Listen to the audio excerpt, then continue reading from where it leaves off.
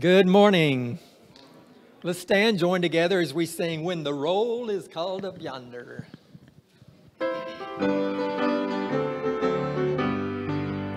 When the trumpet of the Lord shall sound and time shall be no more, and the morning breaks eternal, bright and fair.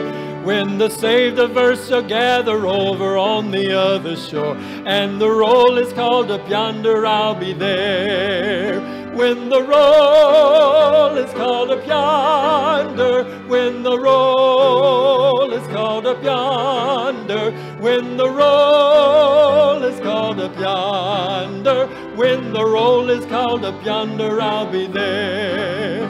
On that bright and cloudless morning when the dead in Christ shall rise and the glory of his resurrection share. When his chosen ones shall gather to their home beyond the skies and the roll is called up yonder, I'll be there.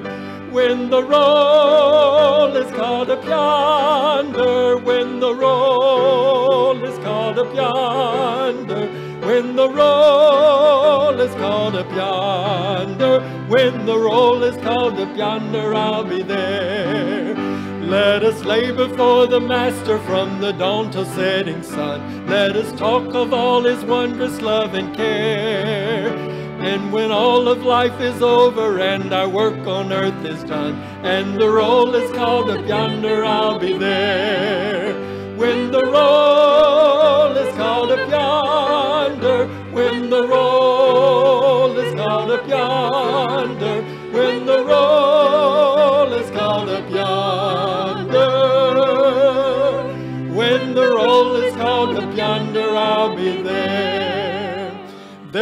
Within my heart a melody, Jesus whispers sweet and low. Fear not, I am with thee, peace be still, in all of thy ebb and flow. Jesus, Jesus, Jesus, sweetest name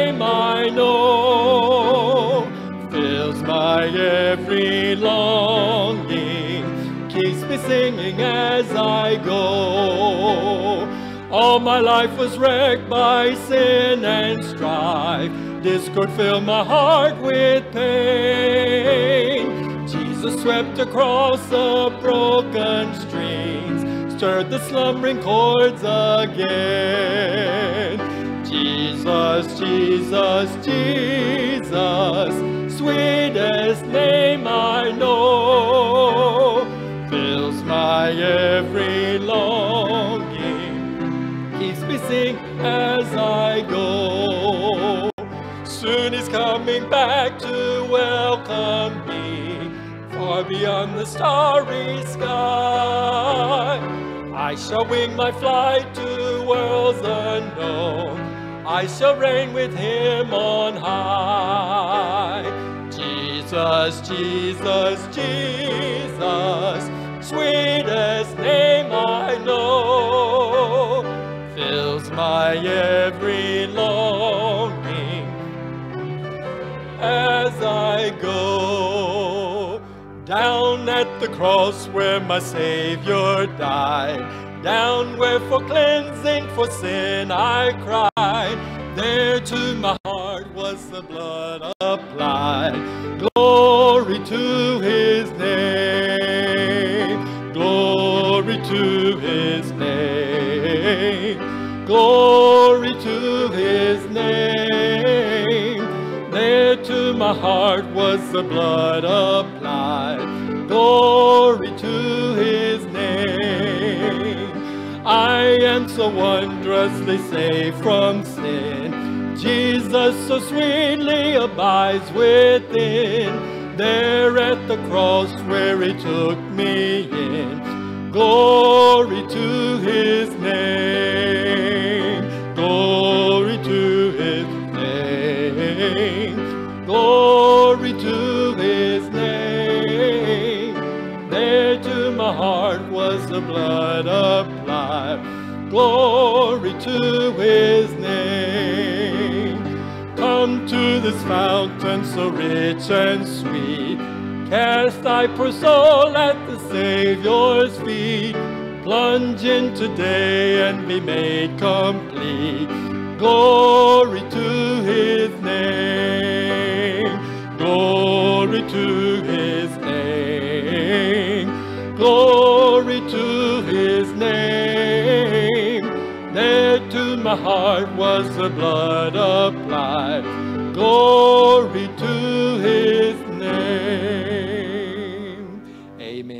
seated.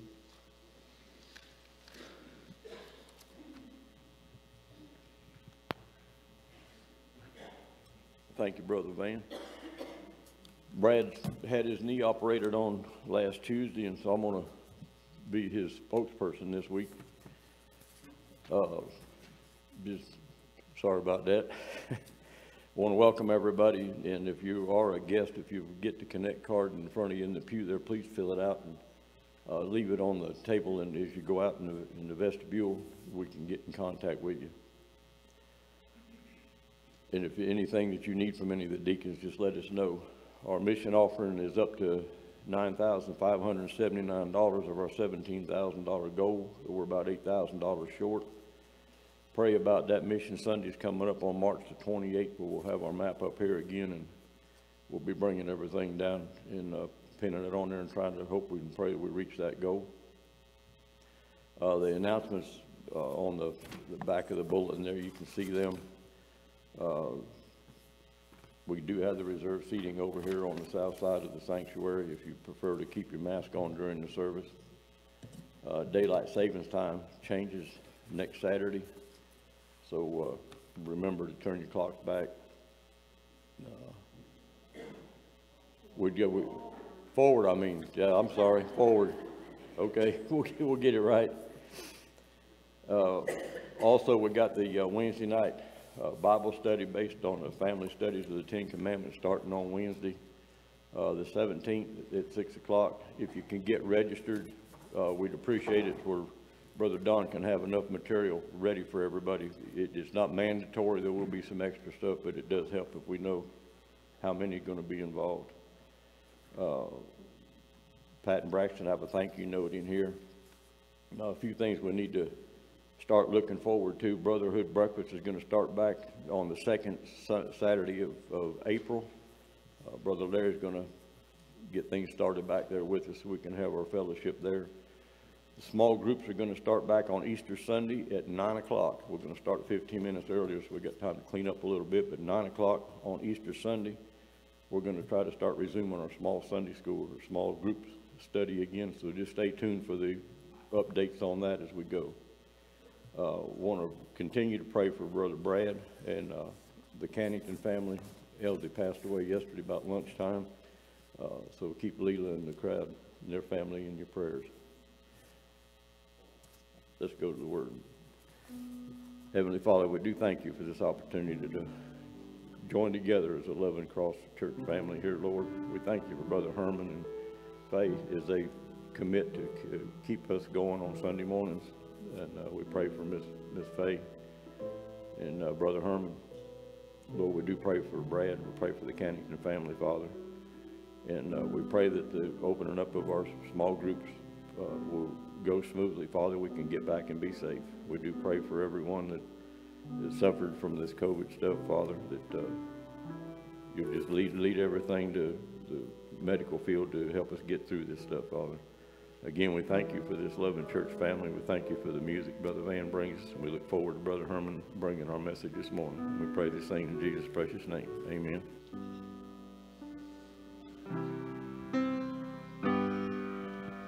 There's a sweet, sweet spirit in this place, and I know that it's a spirit of the Lord. There are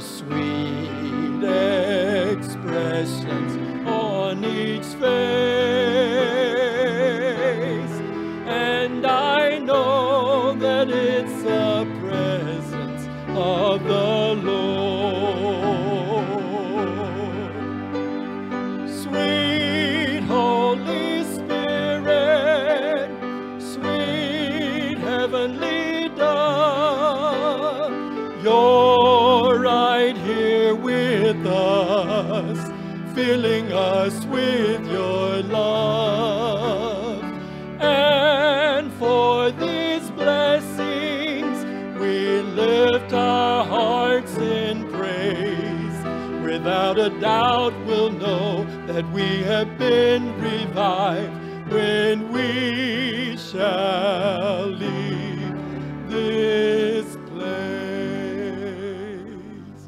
God will make a way where there seems to be no way.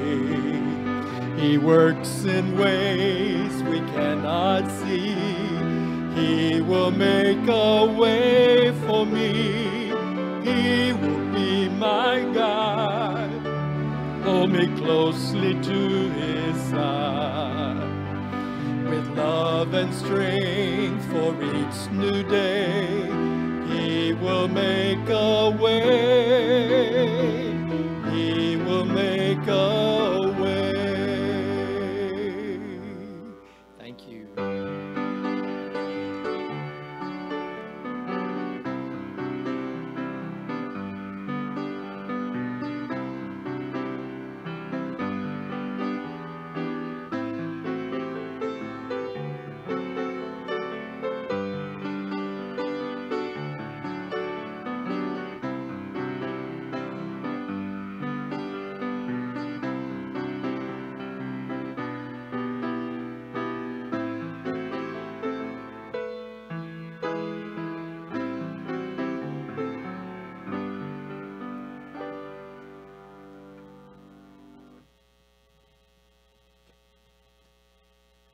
When I first heard Tell Your Heart to Beat Again, it had such an amazing impact on my heart. You know, not only in its lyrical content, but then when I heard the story behind it, it really changed the way I looked at this song. There was a pastor in Ohio who had a heart surgeon that went to his church. But one of the things that this pastor wanted to do was he wanted to see a heart surgery take place. And when the day of the surgery came, they rolled the patient in and they began to cut her chest cavity open.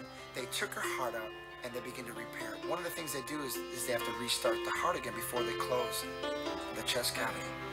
And as they begin to do the procedures to start the heart, the heart wouldn't start. Finally, the doctor did something so out of textbook and not written down. It's just something that you really don't do. And he got down on his knees. He said, Mrs. Johnson, this is your doctor. He said, we have fixed your heart. We have repaired it. There's nothing wrong with your heart. Miss Johnson, if you can hear me, I need you to tell your heart to beat again. And her heart began to beat. And why do I share this story with you? Because the great physician has fixed your heart and my heart. But I find it interesting that sometimes we allow the voice of the enemy to whisper louder than the voice of our Father. And it seems like some of these voices tell us that, you know what, that situation we'll never recover from. Or what that person did, we can never forgive again. But I'm here to let you know that you can forgive again. You can get back up again. You can move forward with your life. And you don't have to walk with a limp. It's simply like this doctor said to this lady. This lady had to come into agreement. The heart was repaired. God has fixed your problem. Your heart is fixed. But you have to come in agreement with God. You know, I look at my story and I look at how I went through loss and how I had to get myself back up. When I look at the pain of my past, it doesn't sting like it used to. But I look back and I see, look what the Lord has done. And I know God wants to do the same for you. I want you to begin to hope again. He wants you to believe again. He wants you to trust again. The great physician, our Father, through Jesus, wants you to tell your heart to beat again.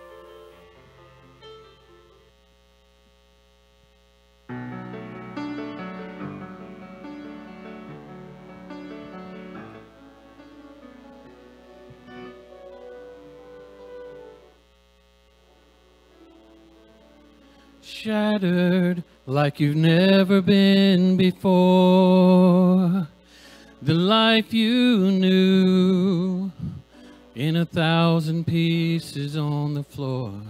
Words fall short in times like these when this world drives you to your knees.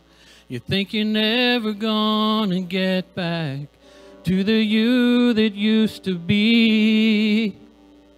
So tell your heart to beat again and tell your heart to.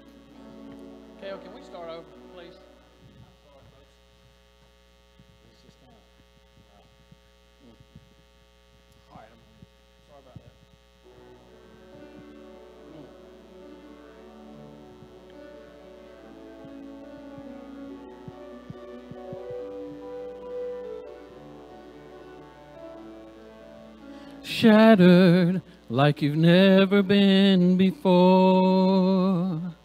The life you knew in a thousand pieces on the floor.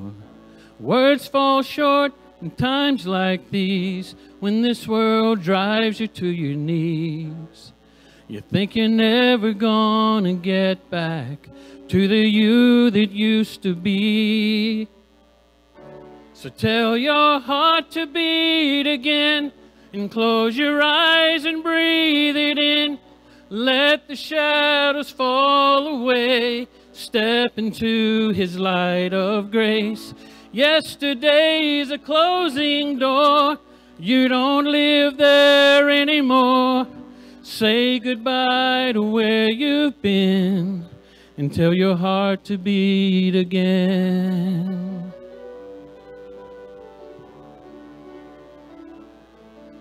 Beginning, just let that word wash over you. It's all right now. Love's healing hands have pulled you through. So get back up, take step one, leave the darkness, feel the sun. Cause your story's far from over and your journey's just begun. So tell your heart to beat again and close your eyes and breathe it in. Let the shadows fall away. Step into his light of grace. Yesterday's a closing door. You don't live there anymore. Say goodbye to where you've been and tell your heart to beat again. Let every heart break and every scar be a picture that reminds you who has carried you this far. Cause love sees farther than you ever could. In this moment, heaven's working everything for your good. So tell your heart to beat again and close your eyes and breathe it in. Let the shadows fall away. Step into his light of grace. Yesterday's a closing door. You don't live there anymore. Say goodbye to where you've been and tell your heart to beat again.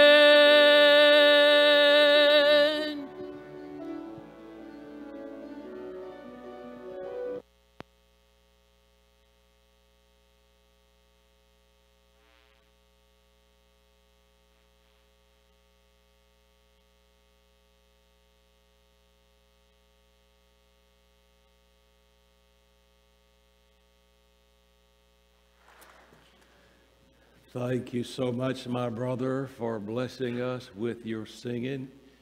You got it right, brother. You corrected it and you nailed it. Thank you so much, my brother. Thank you.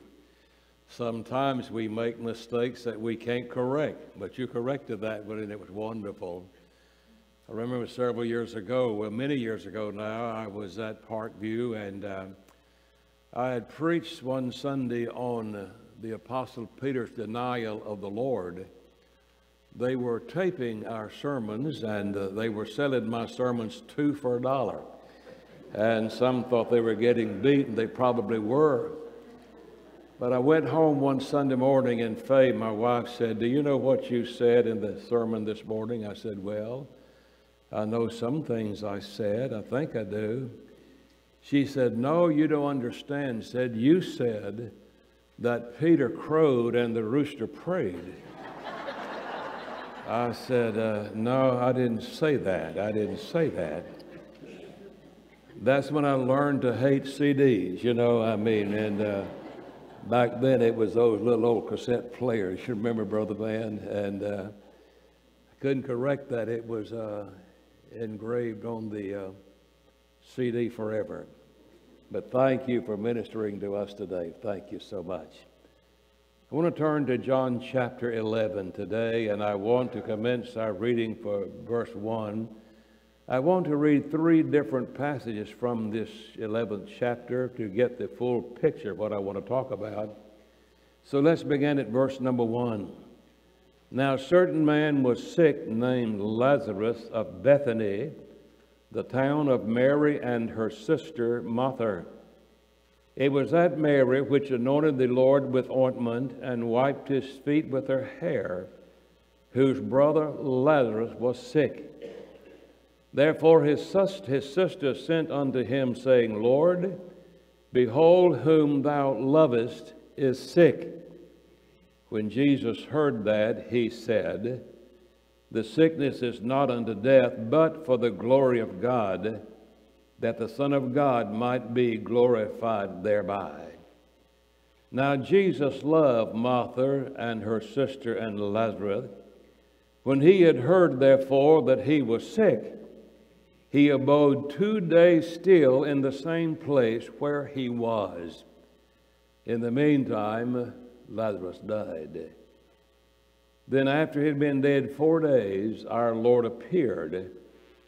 And when we pick back up, we're in verse number 19. And many of the Jews came to Martha and Mary to comfort them concerning their brother. Then Martha, as soon as she heard that Jesus was coming, went out to meet him, and Mary sat still in the house. Then said Martha unto Jesus, Lord, if thou hadst been here, my brother had not died. But I know that even now, whatsoever thou wilt ask of God, God will give it thee. Jesus saith unto her, Thy brother shall rise again. Martha saith unto him, I know that he will rise again in the resurrection of the last day. Jesus said unto her, I am the resurrection and the life. He that believeth in me, though he were dead, yet shall he live. And whosoever believeth, who liveth and believeth in me, shall never die. Believest thou this? She saith unto him, Yes, Lord. I believe that thou art the Christ, the Son of God, which should come into the world. And with that, she went back home and told Mary that Jesus had called for her. And Mary came out and said the same words that Martha had said uh, If thou hadst been here, my brother had not died. In verse 33, when Jesus therefore saw her weeping, and the Jews also weeping with which came with her, he groaned in his spirit and was troubled. He said, Where have you laid him? They said unto him, Lord, come and see. Jesus wept. Then said the Jews, Behold how he loved him. Some of them said, Could not this man which parted the sea, uh, healed, uh, who opened the eyes of the blind and caused that even this man should not have died. Jesus, therefore, again groaned in himself, cometh to the grave. It was a cave, and a stone lay upon it. Jesus said, Take ye away the stone. Martha, the sister of him that was dead, saith unto him, Lord, by now he stinketh, for he hath been dead four years, four days. Jesus saith unto him, Said I not unto thee that if thou wouldest believe, thou shouldest see the glory of God? Then they took away the stone from the place where the dead was laid. And Jesus lifted up his eyes and said, Father, I thank thee that thou hast heard me. And I knew that thou hearest me always, but because of the people which stand by, I said it that they may believe in thou that thou hast sent me. And when he thus had spoken, he cried with a loud voice, Lazarus, come forth. And he that was dead came forth, bound hand and foot with grave clothes, and his face was bound with a napkin. Jesus saith unto him, Loose him and let him go. The title of the sermon today is The Day a Dead Man Lived. The Day a Dead Man Lived. Let's bow together, please. Let us pray. Father, we thank you so much for the inspiration of the hour. And now we turn our attention to your word. Lord, I confess to you, I have no word except your word. I have no strength, no power apart from your power. You know my heart. I want no glory, but that your name receive glory. Would you be magnified in this place today through this message? And Lord, if that couldn't happen, I'd rather not preach, you know. So we wait before you, hear from you. Accomplish your purpose in our lives, we pray, in the strong name of Jesus Christ our Lord. Amen. Our Lord was born in the little town of Bethlehem of Judea. He was reared in the little village called Nazareth of Galilee. But when he began his public ministry, he said, The fox have holes, the birds of the air have nests, but the Son of Man has nowhere to lay his head. Obviously, our Lord spent a lot of time outside. And yet, there seems to be indication that there were certain homes that he frequently visited in which he felt comfortable. Many Bible students believe that one of those homes was Simon Peter, who lived in Capernaum. Another one was the home of Lazarus and his two sisters, Mary and Martha, who lived in Bethany, about two miles from Jerusalem. One of the times he was visiting in their home is recorded in Luke chapter 10. Martha was preparing a meal and Mary was sitting at the feet of Jesus. Martha became disturbed that Mary was not helping her in the kitchen, so she came to Jesus and said, Tell Mary to come and help me. And Jesus responded, Martha, you're anxious about the wrong things. Mary has chosen the better part. What a wonderful time our Lord must have had in that home. The passage I have read in your hearing today tells of the day that sorrow gripped that home. It also tells about how the Lord turned that day of weeping into a day of rejoicing. That's why I'm calling the message the day the dead man lived. There are four things I want to say about that in regard to the passage I've read today. Number one, I want to talk about the mystery that confronted Mary and Martha. Secondly, there's the ministry that encouraged them. Number three, there's the message that inspired them. And number four, there is the miracle that amazed them. I want to begin by talking about the mystery that confronted them. And the mystery was threefold. Number one, there was the mystery of the unexpected death. Our Lord had been threatened, his life had been threatened, and so he left the area and went beyond the Jordan River to a place called Bethabara, the place where John the Baptist had baptized in Perea.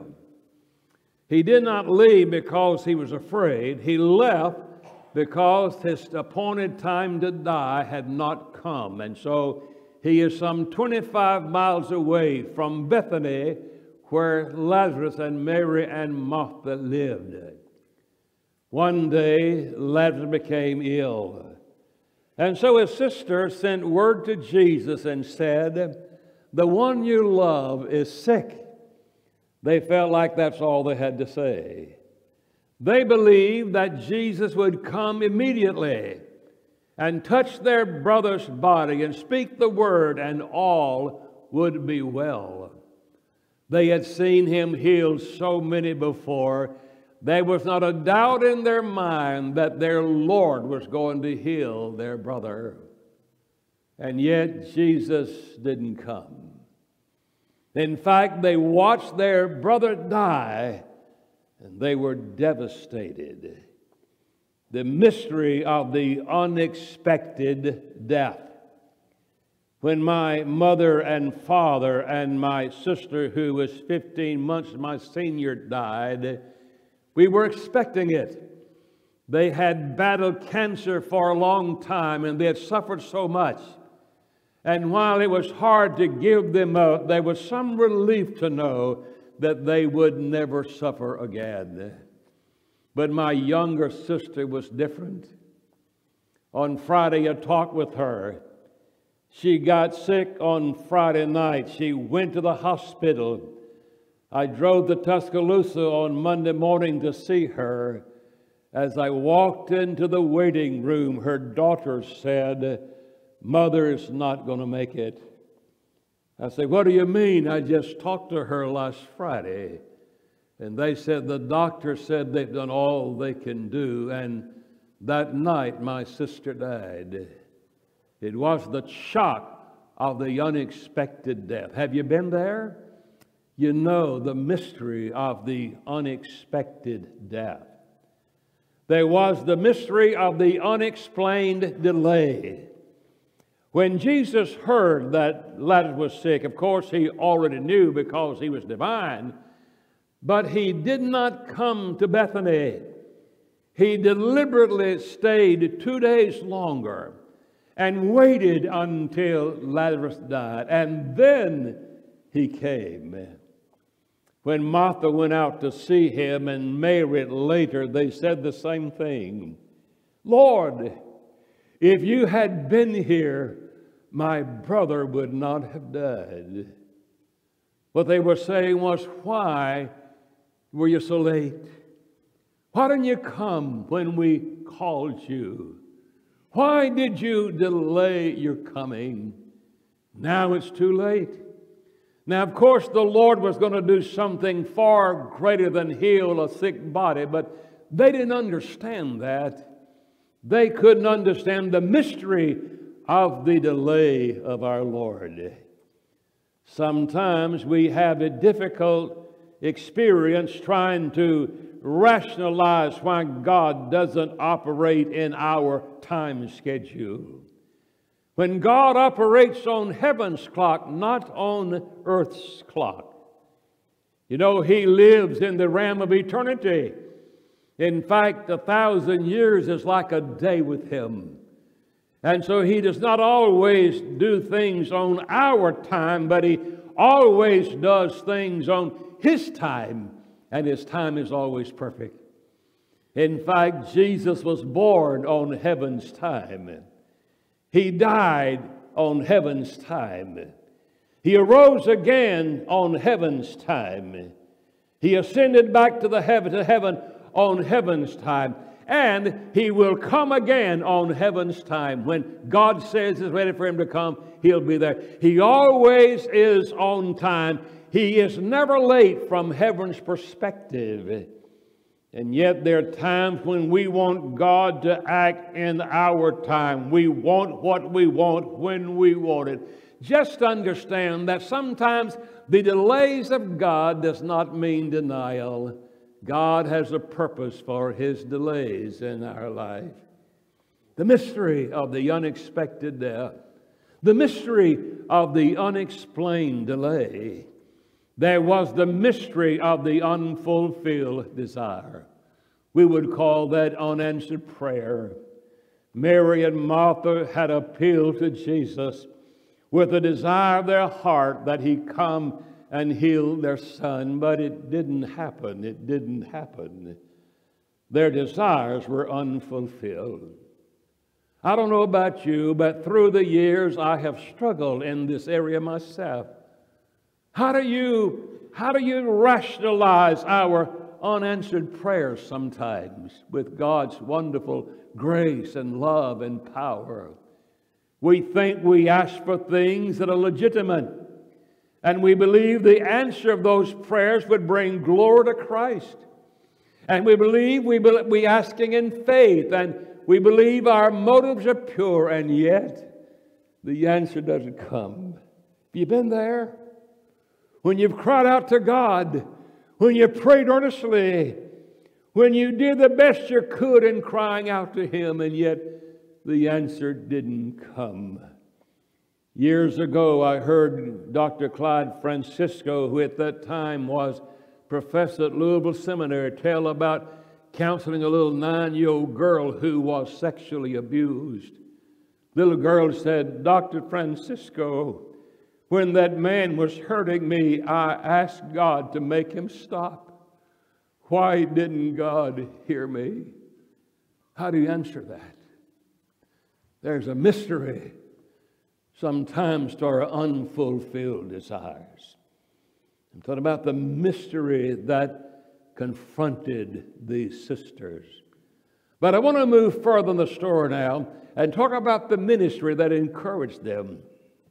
All of us need encouragement. All of us need comfort at one time or another in our lives, and they received that ministry of encouragement that day. And there are three things that encouraged them or comforted them. Number one, there was the ministry of shared grief. The sisters had each other, and there's some comfort in knowing that you are not struggling alone, that you're not in pain by yourself. It is the comfort of knowing that your loved ones feel the same pain you feel. So Mary and Martha apparently were able to draw strength from one another. I know when my parents died, my sisters were invaluable to me. Oh, they were there to encourage my heart. You know the ministry of shared sorrow. Many of you have been there. There was the ministry of the caring community. In verse 19, we read that many of the Jews came and comforted Mary and Martha concerning their brother. That's why it is so important to be a part of a local church. I was visiting some time ago in Bremen uh, in our community, and I came across this house, and I began to talk to the lady of the house, and she said to me, Oh, I belong to Joel Osteen's church. I said, Well, I, I want to ask you a question. I said, When sickness comes and death invades your home, who are you going to call on for comfort? I'm telling you, the local body of Christ is so important because we are a caring fellowship of believers who pray for one another, who love one another, who weep with one another, who bear one another's burdens. We are there for one another. All the importance of the local fellowship. I hope you understand your value to the other members of this body. You're going through some sorrow today, I understand, with one of your members who has died.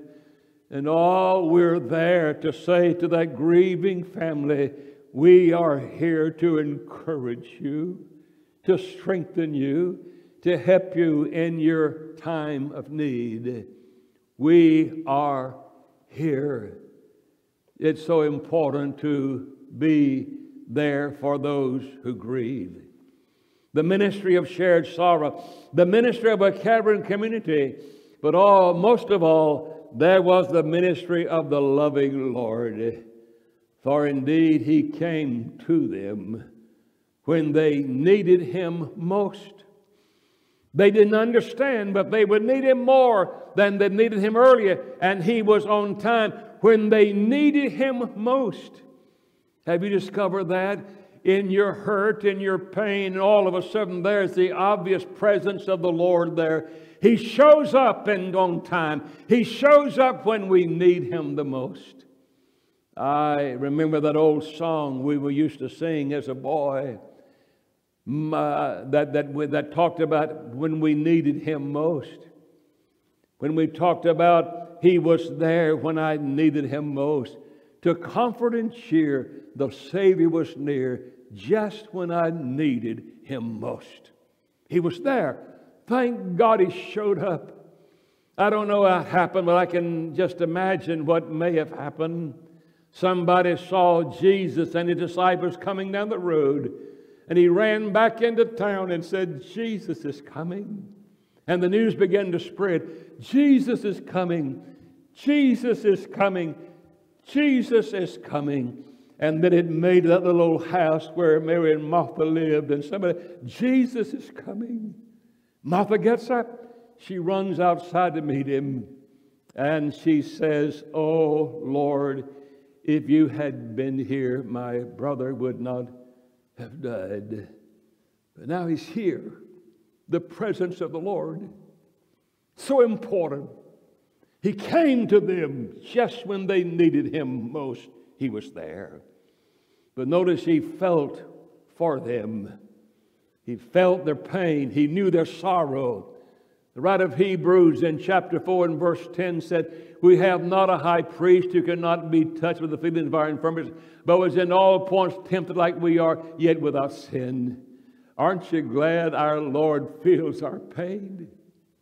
He's there with us. He sympathizes with us. He hurts with us. He came to them. He felt for them. He wept with them. When Jesus saw Mary and others weeping, the shortest verse in the Bible is John 11 35. Two words Jesus wept. But oh, what powerful words they are. Jesus weeping with us. When the maternal grandmother of Allie and Slade, they're here today, our grandkids died. Allie was five years old. Had her funeral, and we went out to the cemetery, and under the tent, while we were there, the rain began to come. We all hovered on the tent to try to stay dry. Then her five year old voice, Alice, said, Is God crying with us? Well, He is. He does. Aren't you glad? Our Lord comes, our Lord feels, our Lord weeps with us. The ministry of our blessed Lord in our time of need. We talk about the mystery that confronted them, the ministry that encouraged them. Note the message that excited them. Notice the announcement of Jesus. When Martha said, If you had been here, our brother would not have died. Jesus said, Your brother will rise again. Oh, what comforting words that is. Your brother will rise again. He will live again. Words I've used so very often to encourage grieving families. I've stood by wives and who buried the husband. I said, You know, we grieve, but don't you understand? We'll see him again. He will rise again. Those who know the Lord. I've sat with children who buried their parents, brokenhearted, and I, and I say, yes, we, we weep now, but, but don't you understand that your parents going to rise again? It's not the end. We shall see them one day. What a wonderful, wonderful truth that is. To know we all who know the Lord will rise again. The announcement, what a wonderful announcement. But notice the assumption of Martha. Martha said, I know in the last day he will rise again. What she was saying was, I'm assuming that you're saying that when the end of time our brother will rise. That's not what Jesus meant. But she assumed that. Uh, you, you, see, Martha had, had not complete, completely come to grips with the issue. We have to give her credit. She knew her eschatology. She knew what Paul would talk about later in 1 Corinthians chapter 4 when he said, The Lord himself shall appear with a shout, with the voice of the archangel, the trump of God, and the dead in Christ shall rise first. Thank God she knew that theology. But that wasn't what our Lord meant. The announcement, your brother will rise again. The assumption, oh, I know down the road he will. But note the assurance of our Lord. He said, Don't you understand who I am? I myself am the resurrection and the life. He that believeth in me, though he were dead, yet shall he live. Do you understand who I am and what power I have? Martha, I am no less God now than I will be then. I will be no more God than I am now. I will have no more power then than I have now. If I could raise your brother then, I can raise your brother now. Do you understand who I am, Martha? Do you understand who I am? And Martha gave the, gave the greatest confession of her life when she said, I believe that you're the Christ, the Christos, the Son of God who would come into the world. I believe you are Messiah I believe you're the Son of God. I believe you're divine. That's my confession of faith, Lord. Oh, what a confession that is. Is the kin to that of the Simon Peter on in Caesarea Philippi when he said to Jesus, Thou art the Christ, the Son of the living God. What a confession. And with that, Martha came back in the house and said to Mary, The Master has called for you. And she went out and she said the same thing that, that Martha had said. If you had been here, Lord, my brother would not have died. But here's the difference. She made that statement at his feet. At his feet. She had learned at his feet so much. And now she bows at his feet. And I believe what she was saying, well, Lord, I don't understand why you didn't come, but I trust you. Whatever you do is right. And so I just bow to your authority my brother and sister in Christ. That's the essence of faith. It is saying, Lord, I don't have the answer. I don't understand. There are mysteries that are beyond me, but dear God, you do all things well and all things right, and I trust you. I trust you. I bow to your authority. The message that inspired them. Notice the miracle that amazed them there was the wonderful, wonderful miracle of our Lord. Notice his request. Where have they laid him? Oh, he knew, but lead me to the gravesite, he said. There at the gravesite, remove the stone. Remove the stone. Aren't you glad the Lord invites us to do what we can do? He invites us to join him in his wonderful work. Thank God for our gracious Lord. You know, he could have commanded the stone to be rolled away and it would have moved. He could have summoned an angel to move it, but he said, No, you guys, move the stone. Do what you can do, and then I'll do what I only can do. You see, they couldn't bring Lazarus back to life, but they could move the stone. The children of Israel could not destroy the walls of Jericho, but they could march around the walls at his command. The disciples could not feed the multitude with a little boy's snack, but they could pass out the bread as Jesus commanded. Simon Peter could not cause the fish to swim into his net, but he could cast forth the net like Jesus said. You and I can't save a soul, but we can bear the message of the cross. We can preach the gospel. We can do what we can do and then watch God do what He can do. Thank you, Lord, for inviting us to join you in your work. The request of our Lord. Notice the reaction of Martha. Now, she had just confessed, I believe you are the Christ, the Son of God, the Messiah who would come. You already said, Lord, whatever you ask the Father, He'll give it to you. And now, when Jesus says, Remove the stone, Ma, no, no, Lord, no, Lord. By now, his body is decayed. He's been dead for days. I'm suggesting that Martha's profession of faith was stronger than her possession of faith. Sometimes it is easy to say how much we believe and how much we love, but it's a little bit harder to demonstrate that or to live out that truth. You've been there? You understand what I'm saying? Her reaction, no, no, no. And then Jesus says, Didn't I tell you, Martha?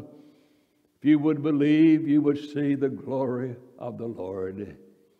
Then there was a raising of Lazarus. Father, Jesus said, I thank you that you hear me. I know you always hear me, but for their sake I said it. Thank you for hearing me. And then, with a loud voice, Lazarus, come forth. Lazarus, come forth. And he who was dead stood up and hopped to the edge of the tomb, bound with his grave clothes, but alive. But alive. Somebody has suggested that he had to use the name Lazarus because if he had not used his name, everybody in the grave in the cemetery would have come out. Well, one day they will, you know, they will, they will, when he says, Come forth. Lazarus, come forth. And the dead man lived. Oh, the excitement, the amazement, the miracle of a dead man coming alive. There's the closing word. I speak to some either here or else by online who are physically alive, but you are spiritually dead. In fact, the better part of you is dead. It may be the Lord's calling you today. Come to me, and I will give you eternal life. I'll give you life that is abundant, life that is victorious, life that is spiritual. Come to me. The question is will you come out of your tomb? The day the dead man lived. Let's bow together, please. Father, I thank you so much for your marvelous grace, for letting us have these incidents recorded that we might learn. And God, we confess to you there are mysteries in life that we don't have a clue, we don't understand. We battle our own our own misunderstanding. We don't charge you. We have no complaint with you. God, it's with our understanding. It's our understanding that we just don't understand. But I know this I know you're there for us to encourage us. And you're at work in ways that we don't understand. We may not see today, but we will see one day. Thank you for the miracle of eternal life. And I pray today if there's one in this building who doesn't know Christ, you would draw that person to yourself. Give him life, life abundant, life eternal. And Lord, I pray for those of us who struggle in some areas. Would you just give us grace just to trust you, just to trust you? Know you do all things right and all things well. Whatever you want to do with us in our lives, we belong to you, and here we are. And you do, if you will, what you want. We welcome that. In Jesus' name we pray. Amen. I'm going to sing in just a moment. If you don't know Christ, we invite you to Christ calling you from your life of deadness to your life of eternal life, calling you out of darkness into light, calling you to joy unspeakable and full of glory, calling you to a peace that passeth all understanding when you come to Him. If I can help you, I'll be here to pray with you. I promise I will. I pray with you. You come, you come, you come. Maybe there are Christians who are struggling in some areas that I struggle too. You might just need to come to the altar and say, Dear God, I just want to bow at your feet and tell you whatever you do is right. I don't understand, but I trust you. I trust you. I trust you. Maybe you need to come and pray for a loved one who's going through a difficult time. You say, Brother Herman, I can't kneel, and I understand it's hard for me to kneel too, but you may want to come and just stand at the altar just for a moment. Your deacon will be here, and I'll be here, and greet you, to pray with you if you need that. But let's stand together, please. Let us sing. Would you do it?